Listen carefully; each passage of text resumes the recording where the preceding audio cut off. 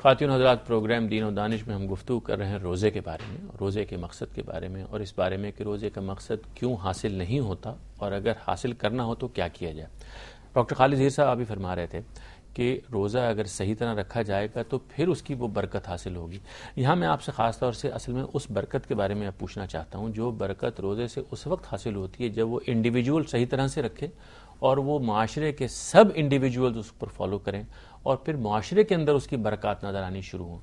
क्योंकि हम ये देखते हैं बहसीत कौम के कि रमज़ान में हमारे अखलाक में कोई ख़ास फ़र्क नहीं पड़ता।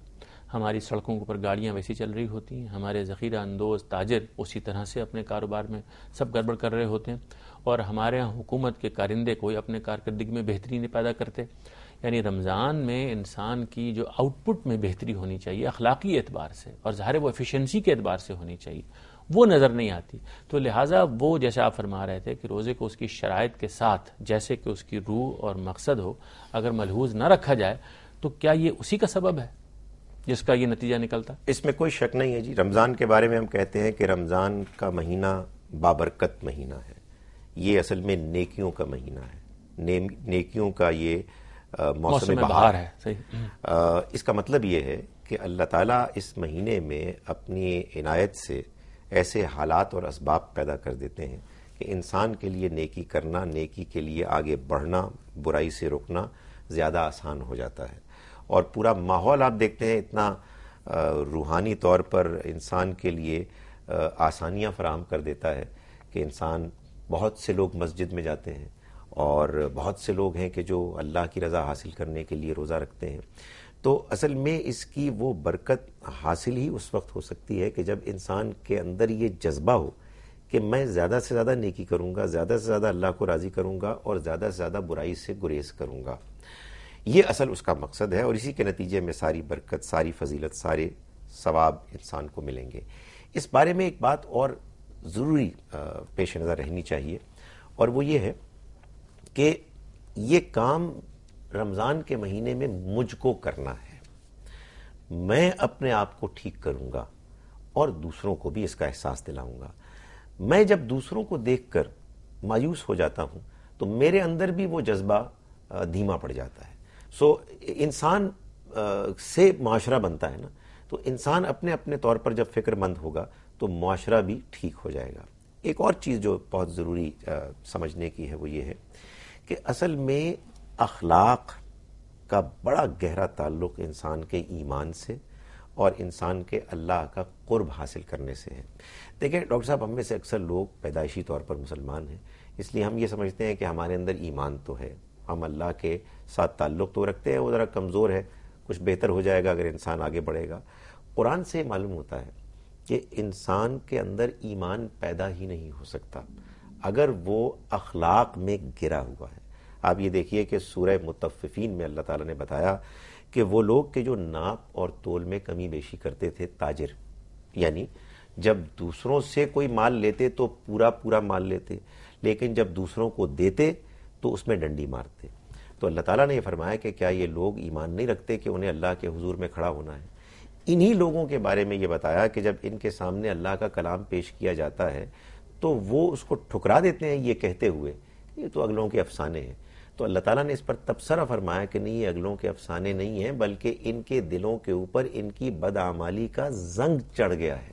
इससे मालूम हुआ कि अगर आप बेईमानी कर रहे हैं, झूठ बोल रहे हैं, धोखा दे रहे हैं तो आपके कल्ब के ऊपर एक ऐसा जंग चढ़ जाता है कि जो आपको अल्लाह के कलाम को समझने और उससे फ़ायदा उठाने से महरूम कर देता है।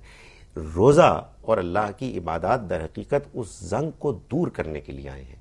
वो हमारे अंदर वो अखलाकियात पैदा करने के लिए आए हैं कि जो अखलाकियात दर हकीकत इंसान को अल्लाह के करीब करती हैं, जो इंसान को बुराई से दूर करती हैं, जिसके नतीजे में इंसान के अंदर आखरत का एहसास होता है।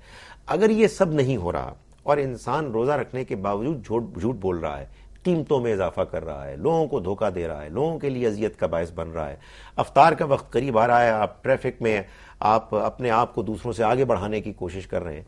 तो मालूम यह हुआ कि हमने रोज़े की सही स्पिरिट और उसके मकसद को न जाना, न पहचाना और न उस बरकत को हासिल किया कि जिस बरकत के हसूल के लिए ये महीना एक गैर मामूली सीज़न है, एक गैर मामूली मौका है कि जो हमें फराम करता है। अच्छा वैसे ये बात जैसे आपने फरमाई कि जब मश्क का मौका गुजर जाता है तो उसका जो मकसद बताया गया था वो ये कि किसी भी मश्क से असल में उसका इस्तेमरार मुराद होता है कि आप जब वो अचीव कर लेते हैं तो उसको मेंटेन करना है। बिल्कुल लॉन्ग टर्म एक ऑन गोइंग प्रोसेस है हम्म। कि आपने उस नेकी के जज्बे को पाने की उसको उसको बरकरार रखने की हतुल वसा कोशिश करनी हम ये देखते हैं कि चाहे वो मीडिया हो चाहे वो माशरा हो चाहे वो इंडिविजुअल्स हों वो जैसे ही ईद का चाँद नज़र आता है वो मालूम होता है जैसे रिवायत में भी आता है ना कि शैतान उस वक्त खोल दिया जाता है। तो वो यूँ लगता है जैसे कि वाकता हमने रोज़े की तमाम बरकत को जाया कर दिया। एब्सोल्युटली तो ये बात भी पहले ही दिन से लोगों को बताने की है मैं और मैं चाहता हूँ कि आप इस पर तवज्जो लोगों को मबजूल कराएँ। किस तरह से वो हासिल हो कि रोज़े का रिजॉल्व हमारा वो लॉन्ग टर्म हो। देखिए बात यह है कि बहसीत एक दयानतदार इंसान के एक दीनदार इंसान के आ, हमें इन तमाम मामला को सोचना चाहिए ऐसे कि जैसे कि हम और अपने दुनियावी मामला के बारे में सोचते हैं। आप फ़र्ज़ कीजिए कि एक कंपनी के मालिक हैं।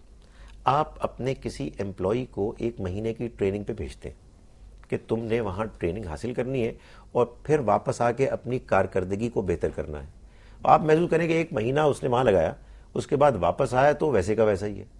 तो इसका मतलब ये हुआ कि उसने उस ट्रेनिंग का सही फ़ायदा नहीं उठाया। अल्लाह ताला हमें कुरान में ये बता रहे हैं कि रमज़ान का महीना एक ट्रेनिंग का महीना है और इस ट्रेनिंग का मकसद है तकवे का हसूल। रमज़ान ख़त्म हो और मालूम हो कि वही तकवा के जो उसका असल मकसद था, वो बजाय इसके कि हमारे अंदर पैदा होता, मज़बूत होता, आगे बढ़ता उसमें तो सूरत हाल में कोई फ़र्क नहीं पड़ा बल्कि जैसा आप, आप, आपने बजा तौर पर फरमाया कि ईद के रोज़ ही हम ये महसूस करते हैं कि तमाम तकवे के जो तकाजे और उसकी एक्सपेक्टेशन हैं उनको हम पामाल कर रहे हैं। तो ये चीज़ ज़ाहिर है कि कोई ऐसी चीज़ नहीं है कि जिस पर हम फ़ख्र कर सकते हैं। हमें आज रमज़ान के महीने में ये तय करना चाहिए कि हम रमज़ान के बाद भी इन अल्लाह के वैसे ही मुती और फर्मा बरदार बंदे बन के रहेंगे। जैसे कि हम रमज़ान के महीने में उसका और रोज़े की हालत में। रोज़े की हालत में। अच्छा ये भी एक बात मैं चाहता हूँ आप आ, हमारे लिए एलेबोरेट करें कि रोज़ा दरअसल एक इनफरादी इबादत है और इस इनफरादी इबादत में जो मतलूब है वो ये कि अपने नफ्स को बेहतर करना है अपनी ज़ात को अंदर से बेहतर करना है। तो ये जो हमारे यहाँ अक्सर दीनदार लोगों में जज्बा होता है कि वो औरों को ठीक कर दें। वो ज़रा दबा के रखने की ज़रूरत है और जितना जैसे बात हुई थी कि इंडिविजुअल ठीक हो जाएगा वो माशरा अज खुद ठीक हो जाएगा। क्या ये बहुत ज़रूरी चीज़ है लेकिन इसमें एक तोजुन की खामी पैदा फिर दोबारा हो जाती है। वो ये है कि हमको लोग ये कहेंगे कि भाई आपने फिर जो अमर बिल मारूफ और नहीं मुनकर का काम है वो बताना छोड़ दिया। ये तो कोई बात नहीं हुई अपने काम से काम रखो। ये तो दीन का सेकुलर तस्वुर है। इस पर चाह रोशनी डालें आपको। देखिए बात यह है कि इंसान के अंदर असल जज्बा तो अपनी इसलाह ही का होना चाहिए। आ, मुझे अपना तजकिया करना है मुझे अपने आप को ठीक करना है इसलिए कि मुझे अल्लाह को जवाब देना है और मेरे पेश नज़र असल मकसद आखिरत की कामयाबी है।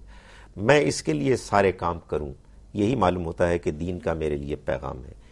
चूँकि मैं एक माशरे का हिस्सा हूँ चूँकि मैं एक ख़ानदान का फ़र्द हूँ इस वजह से मुझे अपने माशरे की असलाह भी करनी है इस वजह से भी कि वो माशरा मेरे ऊपर असरअंदाज होता है और इस वजह से भी कि अल्लाह ने मेरे ऊपर ये पाबंदी, ज़िम्मेदारी आयद की है कि मैं अपने घर वालों अपने माशरे के लोगों की असलाह की भी कोशिश करूँ। इसमें एक तोज़ुन होना चाहिए। बहुत ऐसा होता है कि मैं दूसरों की असलाह के चक्कर में पढ़कर अपनी अनानियत के दबाव और उसके गलबे का शिकार हो जाता हूँ, जिसमें मुझे खाम खा ये एहसास होने लगता है कि मैं तो बहुत अच्छा हूँ। लेकिन दूसरे गलत हैं और मुझे इनकी असलाह करनी है। इसलाह का जज्बा किसी बुज़ुर्ग ने बहुत ही खूबसूरत बात की। वो जज्बा है कि जो इंसान के अंदर जब नेकी और तकवे का जर्फ भर जाता है लबरेज हो जाता है तो उसके बाद वो जब छलकने लगता है ना तो दूसरे भी उससे मुस्तफ़ी अज खुद होता है दूसरे अज खुद दूसरों को भी वो मुतासर करता, करता है लेकिन आपका अपना अंदरून खाली है। वहाँ मालूम होता है ना नेकी है, ना तकवा है, ना अल्लाह के सामने जवाबदेही का एहसास है और आप दूसरों पर चीख रहे हैं तो इसका असर उल्टा होगा दूसरों पर भी और आपकी ज़ात पर भी। बहुत शुक्रिया डॉक्टर खालिद जही साहब। आज के प्रोग्राम का वक्त खातिन हजरात यहाँ ख़त्म होता है। मुख्तसरा सिर्फ़ ये बात अर्ज़ कर दें कि ये प्रोग्राम्स अब रमज़ान शरीफ में जारी रहेंगे। दीनों दानिश में हमारा मौजू रोज़ा और उससे रिलेटेड सारे मामला होंगे।